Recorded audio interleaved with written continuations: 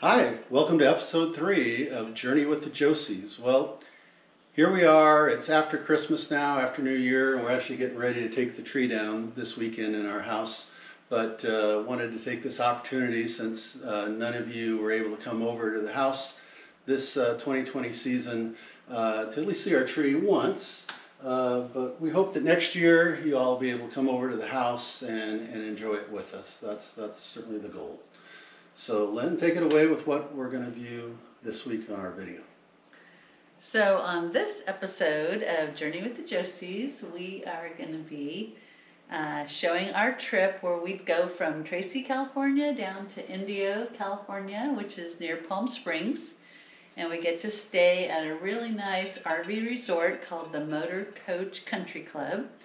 It has a lake and it has um, golf course, and it's just a really nice place. And the weather was very pleasant. And a great sunset. And a great sunset. So we will enjoy showing you what we experienced there. So let's head on out back to December 26th when we departed. Stu drove the whole way from Tracy to Indio, California, and we arrived around 4 p.m. at the Motorcoach Country Club. 7:55 a.m. on Saturday, December 26th, and our journey down south towards the Motorcoach Country Club in Palm Springs.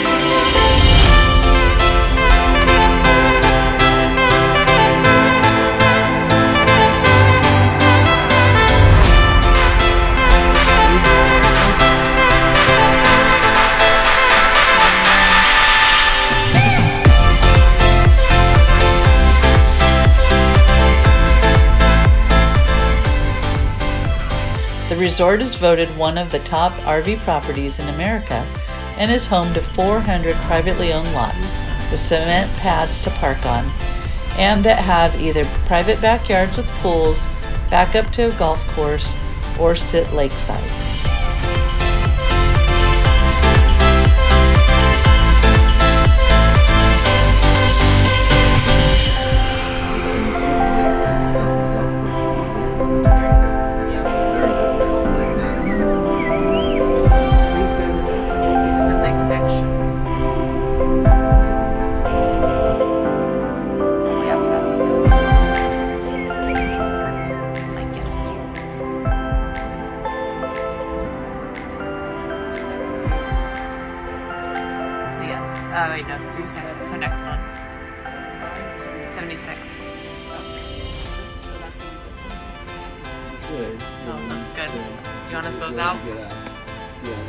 Yeah,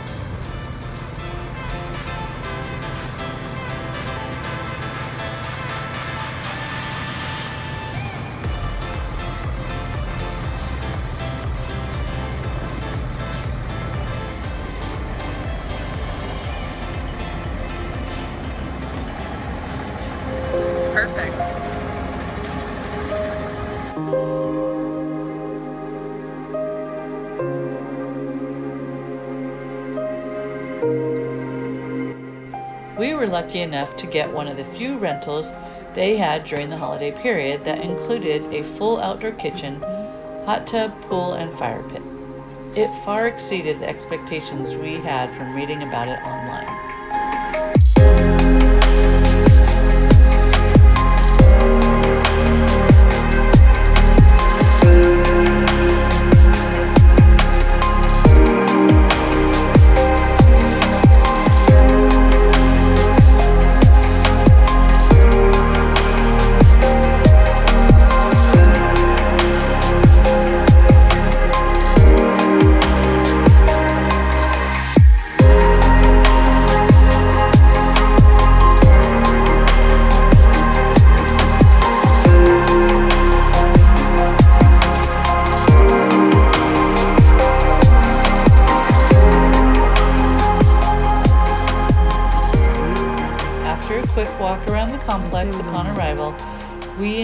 Delicious chicken tikka masala dinner prepared by Christine. We got to unwind in the hot tub before heading back into the RV for some Netflix to finish off our first day.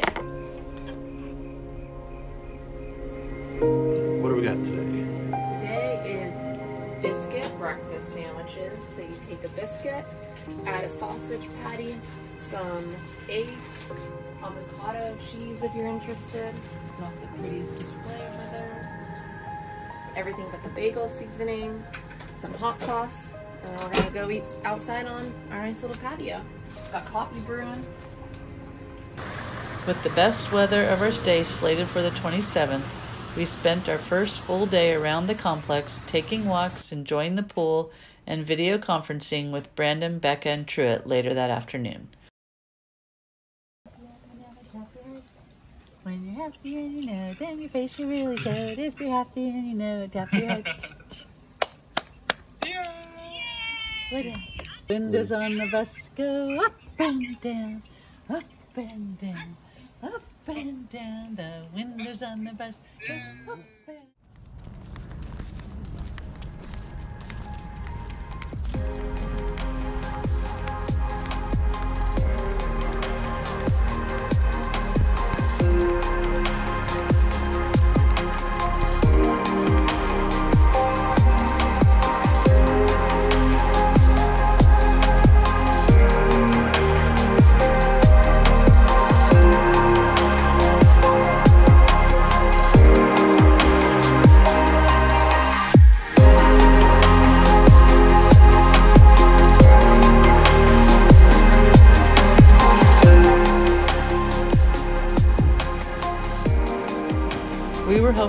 see a great sunset during our stay, and Sunday night delivered with a stunning masterpiece that one of the locals rated in the top 10 of 2020.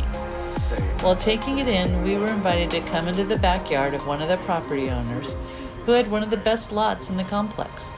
He was a really cool guy who wanted to make sure we enjoyed the few minutes we had to experience the light show. Lake one. I use them twice a year. So, so you walk around, We ride our and you bikes. drive around, or ride your bikes around the golf course. Even more beautiful.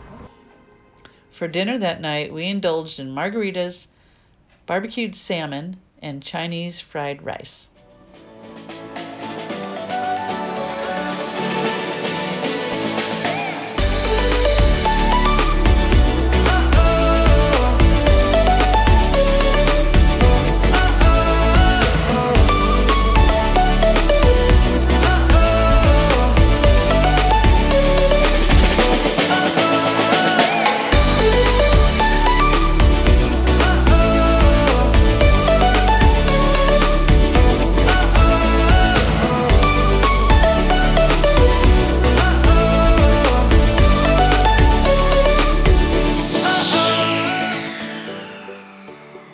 On the 28th, we headed off for a full day of sightseeing at Joshua Tree National Park, which was about a 50 minute drive away. The park was designated as a national park in 1994 and encompasses almost 800,000 acres bordering the Mojave and Colorado deserts. We entered from a less busy southeastern gate, and the sightseeing, sightseeing started slow with basic flatlands, but was enhanced as the day went on with a variety of rock formations and more challenging trails.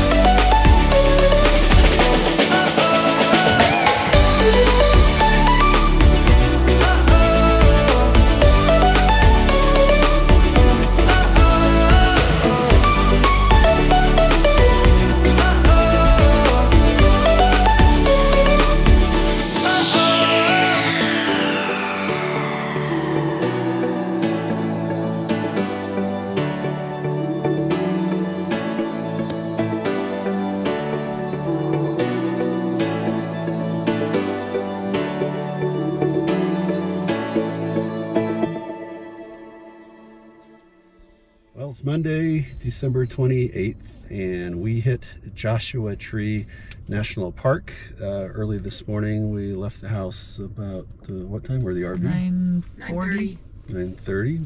So I want to go around the car here and get everybody's thoughts on the day and what they liked and uh, what they thought about this place. First time for all of us. Christine.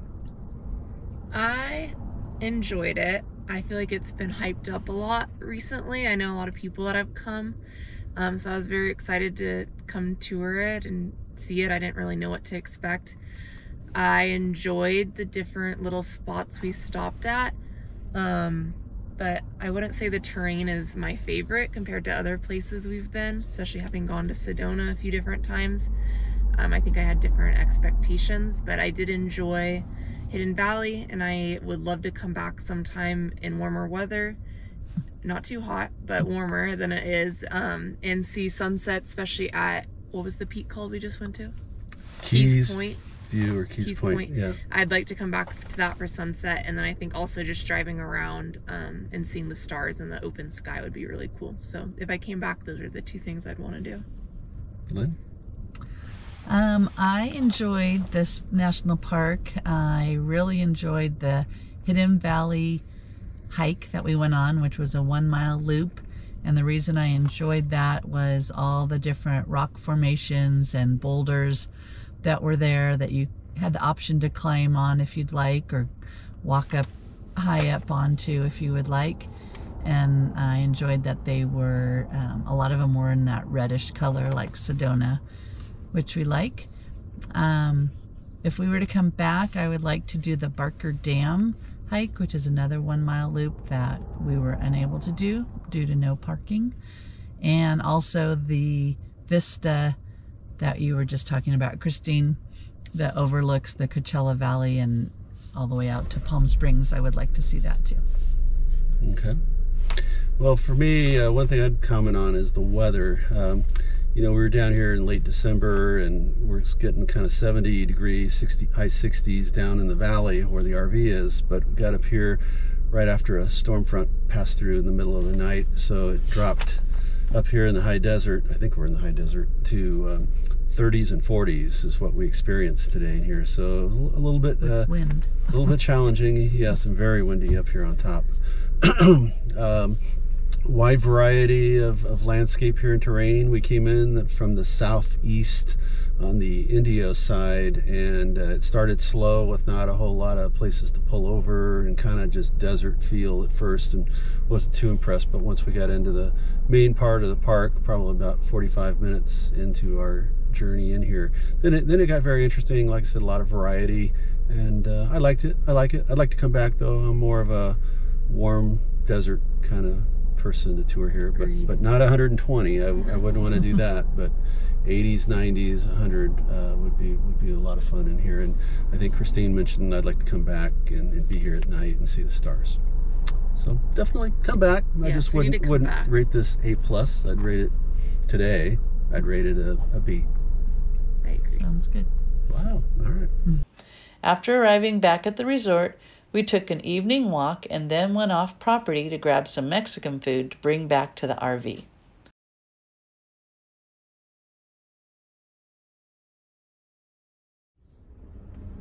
On Tuesday, the 29th, we spent our last full day visiting Indian Canyon, which was about a 45 minute drive on the other side of Palm Springs. This was a really unique place that had numerous hiking trails and clusters of palm trees at the base of rock canyons with streams running through it. We went on the Murray Canyon Trail, which was an extremely beautiful four mile round trip journey that included several switchbacks across the river on logs and rocks. It's a really nice day, living in the right space. Breathing your got me feeling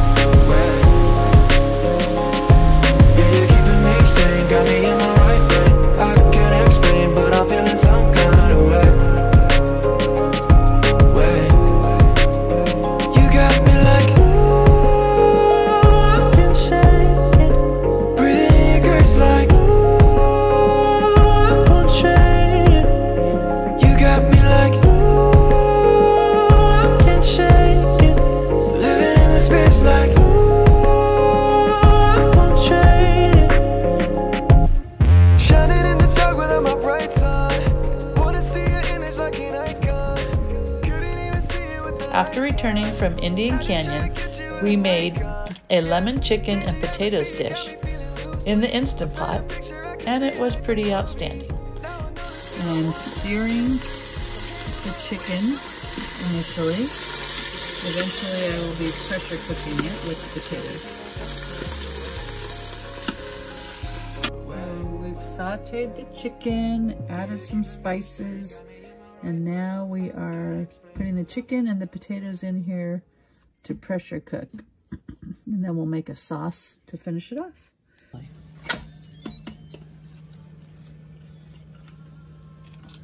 Looks moist. What's that? This is the sauce, a lemon garlic sauce that was made and sauteed in there. And then I just thickened it up with some cornstarch and water.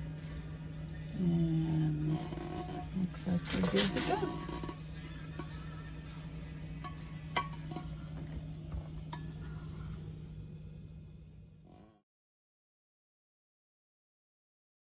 We took our time to cherish the amenities of the property one last time, knowing that Wednesday morning was going to be dedicated to our cleanup and departure checklist. With some sadness, we departed Indio around 10 a.m. for our 450 mile, 8 plus hour journey back home.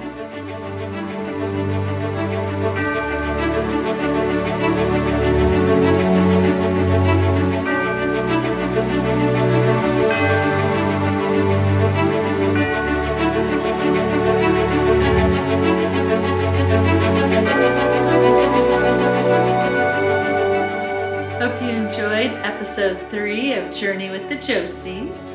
We don't know where we're going next. But we're going to start the planning process tonight. And as soon as we figure it out, uh, we'll be getting back to you with another video. And happy retirement, Lynn. Today she finished up with Hotzi Pacific and is joining me in retirement. Thank you.